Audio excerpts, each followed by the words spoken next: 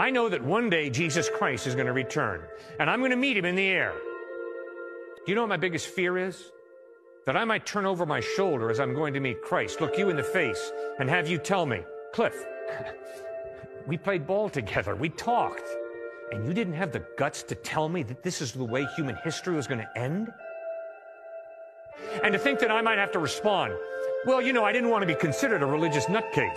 I didn't want to be considered a fanatic. So I just played it cool. No, friends, that would be hypocrisy for me. The return of Jesus Christ necessitates you and me who know Christ telling everybody we possibly can that he is the truth, the way, the way through death out the other side to eternal life. And yes, ma'am, yes, sir, he will be returning one day.